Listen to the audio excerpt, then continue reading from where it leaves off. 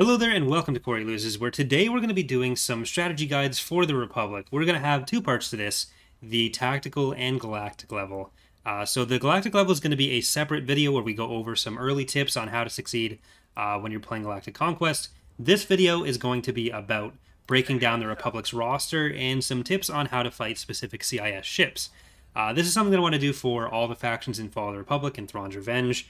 Uh, so hopefully some of you find this useful. But if you would like to see the galactic level guide, uh, there will be a link to that in the description. If you want to see the tactical level guide, you're on it right now. Uh, but the first thing we're going to do is talk about this guy, the Lucrehulk. So there have been, more than any other ship, I feel like uh, people who are uh, asking for assistance in how, in figuring out how to beat the Lucrehulks. So we are in instant action, and we're going to take it on with five acclamators here. This is technically more than you really need, but it's still less than uh, the overall financial and pop cap value of the Lucrehulk. So we're going to be punched above our weight here. Uh, and I'm going to show kind of the principles of how you take it out. So this would obviously just be some basic ideas that you can apply in different places. Uh, there's a few different types of Lucrehulk, obviously, uh, so that'll vary in the specifics of what you do. We're going against a Lucrehulk battle carrier right now. Uh, but if you turn this on here, the main thing is that Lucrehulks are round. Now, I know that may seem like a, a surprise, a big shock, but the main thing you want to do is make sure your ships don't do what mine are doing right now. And so we are going to turn on power to weapons with all those. This one is going to be taking the brunt of it right now. But the main thing about the Lucrehulks is, yeah, they are round. So each of these weapons has a distinct firing arc. It's not able to direct all its firepower in every direction. So weapons here can't shoot back here, weapons back here can't shoot up here. So you want to make sure that you are in range of as few weapons as possible. And even the fact, even the amount that our ships are spreading out right now isn't ideal. Because the more you have them concentrated, the less the Lucrehulk is going to be able to shoot. The fewer of its weapons that are actually going to be active. Uh, so we've got five of our levelers specifically typed for this. Uh, there are some decent anti-fighter capabilities on the on the battle carrier, which means that the Lucrehulk or the Acclamator carrier types are going to be a little bit weaker against it. Uh, if you're actually up against the battle carrier, then if you're sticking with the uh, acclamators, then you'll probably actually find the the carrier type acclamators allow you to do a bit more damage from range uh, compared to the compared to the leveler types or the assault loadouts rather. But now that we have that pretty much down, we did lose an acclamator. Uh, but again, if I was playing this better, then I'd probably be able to avoid even that. Uh, we're mostly going for the demonstration here. Uh, so what you want to do is focus down some of the uh, some of the outer ring that's facing you. So you're not necessarily just going for the highest value target overall. You're going for what's going to be a threat to you in the moment. Uh, giving you an attack order is not going to be super helpful. So it looks like it's kind of turning this way. So if we focus a little bit more on weapons on these sides, and we give every uh, every acclamator a different hardpoint to shoot. That's also pretty important. Don't be afraid to pause in the middle of a battle uh, to give some extra orders. Then you're gonna find yourself able to take out, especially with these turbo lasers, uh, you'll be able to take out a lot of the damage on this side of the Lucrehulk all at once. And soon it won't even be able to shoot us on this side. So the more you familiarize yourself with like the positions of some of these hardpoints, the more you're going to be kind of comfortable with doing this kind of thing, the more you're going to be able to execute on it. Honestly, going for the fighter bays in this is, uh, in this particular setup, is probably not the the most optimized way to do it. But you can see we've done a lot of damage there, and it still has a lot of health, but it's not going to be able to shoot us because none of the weapons that it has are facing this direction anymore. So battle carriers are, yeah, battle carriers are a little bit worse than the battleships. Uh, but you can apply similar methods to it, where you kind of want to make sure you're occupying as little space around it as possible. I've seen some people talk about like trying to surround the Lucrehulks or flank them. That is really not what you want to do with this ship. This ship is like pretty uniquely suited for taking on a bunch of stuff around it. Like there's a lot of other stuff that has like broadside arcs that'd be good at that, but the Lucrehulk is pretty split between all four kind of firing arcs compared to everything else. But yeah, so that is that's the general principles of how you want to approach taking out Lucrehulks. Again, I had five. You can probably do it. You can basically do it with four, or maybe even three. And I lost one because I was kind of careless. Uh, but if you're trading one Acclamator for a Lucrehulk, you're probably not in bad shape there either. Like, you don't need to play super optimally against the AI. Uh, so these are kind of just basic principles that you can start applying into your own games. If you ever want to uh, kind of test out different fleet strategies, you can go, we're just going to go back to the main menu here. You can go into game modes and historical battles, and you're going to go to any of these instant action maps, and you just start them up. And you're able to spawn in ships for uh, with either faction. Uh, so we have the CIS menu here. We have the Republic one here. You can see that's the faction icon. That's what you're looking for. And it can be a little bit harder to see against the planets, uh, but you get the mini-map icon as well. So you can just see it there. But you also have the option here to spawn either ship for either side. So if you click on this button, that's going to make it so that ships, no matter Upgrade who they belong to, spawn for the Confederacy. If you do this one, it's so ships, no matter who they belong to, will spawn for the Galactic Republic. Then this button resets it. And you can even get some uh, some target dummies to kind of see how accuracy works for different weapons or uh, health and hull modifiers, what the damage output is, the effective damage output. But yeah, so we're going to go over some of the Republic's Upgrade roster here, or a good chunk of the Republic's roster. Upgrade. The big thing that I would tell people though is do not sleep on two ships in particular, uh, especially early game, because that's usually when people are struggling the most is early game in Galactic Conquest. And there are two types of ships that are going to be kind of your best friends uh, during those phases. One is this guy. So the Invincible is an obscure ship, but it is a pretty good ship. It isn't like it isn't going to be uh, the key to your victories forever, but they can put out some really decent damage and take a good pounding. So if you're looking for something that's going to need to tank for a Lucrehulk really early on, then if you have one of these guys supported by a couple acclamators, you're in pretty good shape. So don't don't be afraid to put out some invincibles, or especially you start with a couple. So using your starting forces uh, is usually a how you use your starting force is usually a pretty key element, and especially with what I talked about in the galactic level strategies, uh, making sure that you are prioritizing your targets properly, uh, you can get a lot done with just some acclamators and some invincibles. With the acclamators, you have the assault loadout, which is this guy, and you have the carrier loadout early on. You get the acclamator 2 later, but these two are kind of going to be your uh, your workhorses early on in the game. The assault loadout doesn't have as many fighters. It's still got a decent complement, but it is going to be putting out a good amount of damage. It has a lot of physical damage. So the power to weapons ability is really good on it. Uh, it has a lot of missiles. It has uh, some some quad turbo lasers there. Like it, it's not a slouch. It can put out some good damage even later on in the game. So don't sleep on those. Uh, obviously, when you get into later parts of the game, the two ships that you're really going to be relying on are probably going to turn into these two. So if you're starting in a later era, Venators and Victories are going to be quite good. But something that uh, usually gets kind of misrepresented is the role that the Venator is going to play.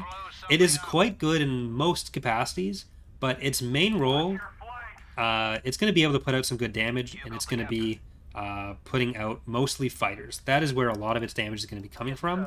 So make sure you're protecting them. Sending them to like 1v1 or Lucrehulk is not going to end well for you.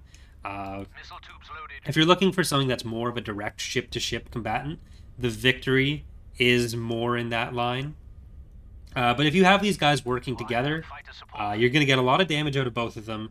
Uh, the Victory is going to be like marginally more defensive than the than the Venator is. It's going to get less fighters out, but it's also another thing where you're going to get a lot of damage out of it.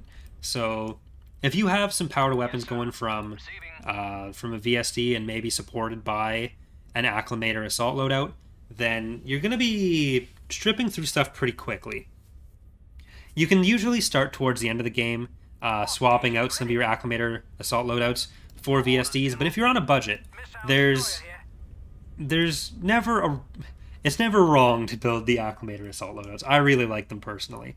Uh, but if we're going to look at the rest of the roster here, so the the Carracks are going to be kind of all rounders for you. They have some anti fighter capabilities, uh, which they're not fantastic at. They have some anti ship capabilities, which they're not fantastic at. But having a couple thrown in for support, especially if you have them near uh, a Venator or a Victory, they're going to be able to do some fighter screening for them while they focus on doing kind of your real damage. But you also have another pretty versatile ship in, in the Dreadnoughts where they're not quite what you'd be familiar with from the Galactic Civil War era. Uh, they're a lot more laser oriented, uh, which makes them they're kind of like if the assault loadout for the for the acclamator is kind of like this a similar role to the VSD but a step below, then the Carrack and Dreadnoughts are almost filling that kind of role. But there are a few versions of it. So you're gonna have a couple PDF Dreadnoughts at the start uh, of the start of most games. They're not very heavily armed. They're not the best ships but you can upgrade them into your dreadnought carriers, which are going to put out a few more fighters, uh, which can be handy to have around. But then you have the actual uh, dreadnought heavy cruiser, uh, which will be available in some places. Uh, when you can get these, they're going to be good supportive damage for you. Uh, again, backing up a few of these other ships, you're going to get uh, pretty good value out of that. So the Tector, the Imperator, and the Secutor are ships that you can get if you go down the Order 66 path. They're really good for a few reasons.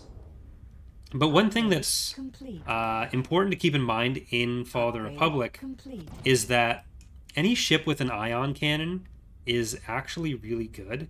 Because uh, ion cannons are quite strong, and you can see they're the they're the kind of solid icons. ISDs have them, Bulwarks have them for the CIS. Uh, but they're very rare during the Clone Wars, and they will really help strip shields. Uh, the CIS has a frigate here called the Munifex. Upgrade in progress. So these guys are pretty tiny. Upgrade complete. And they may seem non-threatening, but when you see these guys, you should prioritize something on killing them. Because if you look here, they have two light turbo lasers and two light ion cannons. They're not taking up a huge amount of pop cap. Uh, they're putting out a fighter squadron and they're doing ion damage, which again is very important to make sure you keep track of. Uh, if you have a couple Arquitens, then you're going to be able to kind of task them towards killing some of these uh, some of these Munifexes. If you have maybe a group of three, they'll be able to kill one pretty quickly. Uh, but one of the other things that people tend to struggle with a little bit is how they're supposed to use some of the anti-fighter ships. So you have the CR90s, which can do that. You also have the LACs, which can do that. Uh, but keep in mind, these are relatively cheap, and they take up very little pop cap. So in 200 pop fleet, you can have like 10 of these guys, maybe even more. And in an era that's as fighter heavy as the CIS, the more, or as fighter heavy as the Clone Wars, the more of these you have, the better. So 10 may sound like a lot, but it's actually quite few for how effective they can be if you're using a lot of them. If you have like 20 of them in an in a full pop cap fleet, uh, you'll probably get a lot of value out of that as well. Possibly even more depending on what you're going up against. If you're going up against like Lucrehulk carriers or Captor carriers, which are um, so Lucrehulk's obviously here. Then there's the Captor not to be confused with the Auxilia, but like Providences will also put out some fighters. Uh, the CIS is a very fighter heavy faction. The Republic kind of is as well. But the way I typically will use my uh, my fighters, I'm just gonna there. See, it's dead. It's not going to be a problem. But the way I will typically use my uh, Upgrade in progress. my anti-fighter is I will park them behind my fleet because if they are in a position where they're going to be attacked, then they'll die pretty quickly. Uh, but if you have them sitting behind a capital ship, then usually the AI will still send some. Uh, they'll be doing like fighter and bomber passes on your ships. Uh, so if you have, it's going to be a little bit laggy right now because we have so many of our ships spawned. But when they have, say, a swarm of fighters that's coming at your stuff this way, they're going to get one successful runoff on one of these ships. But then those bombers and fighters are going to fly into a cloud of our anti-fighter corvettes. The other thing you're going to probably want to do a bit is, depending on what you're using, if you're using a lot of acclamator carriers, uh, then you're probably going to have a lot of fighters yourself. You're going to be relying a lot on your uh, fighters' damage output. And you can kind of see what I was talking about earlier with the Lucrehulk's damage, where I've got it surrounded, so all of its weapons are doing a lot of damage to a lot of targets right now. This is like best case scenario for a Lucrehulk. Is it's using every single weapon it has. It's going to die relatively quickly, but it was able to take out a lot of other stuff. So this is the situation you never want to be in with a Lucrehulk. Uh, but yeah, so uh, so if you're using a carrier heavy strategy, you're going to be sending a lot of your fighters in to support your bombers, clear out enemy fighters while your bombers do a lot of the damage to capital ships. Uh, at which point you'll probably want to move your uh, your anti-fighter ships up a little bit. It's going to be a bit riskier, uh, but if you're really playing forward with your fighters and bombers, then having the opportunity to kind of clear out the enemy fighters that are, and interceptors that are going to be trying to clear out your bombers is going to be a bit more valuable. So try to make sure that you're going in when they're going to have a little bit of cover, but make sure you're kind of playing with their speed and their range. Because they have, on top of being really fast, uh, they tend to also have full 360 degree firing arcs, uh, just as a kind of quality of life thing, so you can more easily track what you're doing. But that does mean you can park them backwards and have them ready to just leave whenever they need to while still kind of doing their job. So that's kind of how you use a lot of those ships. The other thing to keep in mind is that there are some units that may seem like they are meant for certain situations. Uh, like, let's say we have a subjugator here. Upgrade complete. Now, a lot of people's natural assumption is that the subjugator, as a super ship, you fight that with super ships. But really, in uh, in the game, when you are fighting a single large ship, you want to fight it with as many others, uh, as, usually as many fighters as you can possibly do. But with the subjugator in particular, you want to fight it with uh, as many ships as possible in general. So where is our spawner here? So, in progress. If you want to talk about ships that are like kind of in similar roles for each action, the Praetor or the Mandator. Mandator 1 or 2, will kind of seem like Upgrade. what's going to be doing similar things for your fleet, which is mostly true. But Upgrade complete. the uh, the subjugator is able to kind of duel much better than other ships will be able to because the mega the ion pulse cannon is going to get most of its damage out if it is hitting one target and on top of doing a lot of damage it's going to stun a target for 15 seconds uh, so you're losing a lot of your firepower if you are using the mandator or the praetor up against something like this they'll still you're not necessarily going to lose to it necess- like in every case but if you're talking about like the most efficient way to handle these guys then you can see just doing that one pass with these bombers did a lot of damage there if you have a couple Venators supporting that, or Acclamator, Assault Variants, or Victories, uh, you may end up losing one or two ships. But again, you got to just decide what the value or what the trade-off you're willing to make for that is. Uh, but if you are just kind of doing uh, a Praetor or a Mandator against it, for one thing, that's harder to get into that situation where you're going to have those in enough fleets to kind of make sure that they're going to be what goes up against the Subjugator when instead you could be using a carrier heavy strategy against them, which is going to be a bit more effective. Uh, but you're giving up a lot of your effective pop cap if you have one like 84 pop cap thing here or 136 pop cap thing here, because they're possibly going to have like uh, a subjugator and maybe a Lucrehulk, and then they're going to have a lot of fighter damage coming out, where the subjugator just has to stun the Praetor or stun the Mandator, and then the Lucrehulk can just kind of use it and its fighters along with some of the other weapons from the subjugator to do a lot of damage. So that's kind of what you want to do is make sure that when you are fighting up against a subjugator, uh, that you are primarily going to be using fighters and bombers.